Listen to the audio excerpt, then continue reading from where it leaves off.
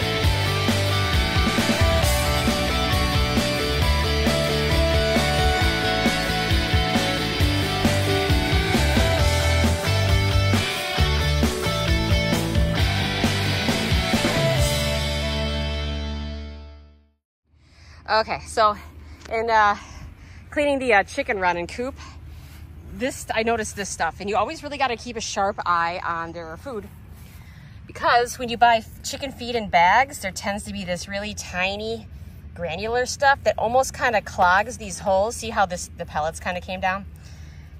This white stuff here is oyster shell. This is not chicken food. This is kind of more like chicken vitamins. It just gives them their eggs extra strength. Chickens really don't like eating oyster shells though, so you really got to kind of sneak it in their food. But if you look on this side, all their food is is dust and oyster shell. That's not a whole lot of nutrition for them. And that sometimes happens when you get um, feed from the stores where it's a lot of powder, the powder kind of cakes.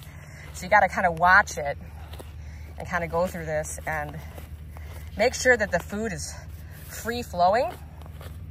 I try, when, when, when we get low on the food and the smaller stuff settles to the bottom, I don't. I try to sift it out. But I have kids helping me, so things happen. And if you have kids helping you, they will make mistakes. It is just part of being a kid. Just expect that and always verify. Hungry girls. Hungry girls.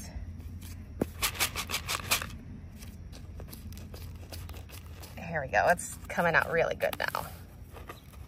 There we go. Hey, Charmander. I don't know if she's sweet or mean, and I have yet to figure that out. I kind of think she's sweet. Well, I got the majority of things that I wanted to get done done, and that is considered a win when you get to be my age. And also when you get to be my age, it is considered me time just to get errands done or by yourself around the house. That does uh, qualify as a little bit of therapy, even if it's shoveling poop out of a chicken coop. Uh, so yeah, uh, hopefully you guys stick, stay tuned, like, share, and subscribe.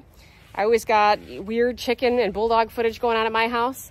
Uh, right now, I got to get inside and fix my last problem of the day. I got to boil some hamburger and rice for a dog who's got a little bit of an upset stomach. Uh, so yeah, always something going on or going wrong at my house. Peace, guys.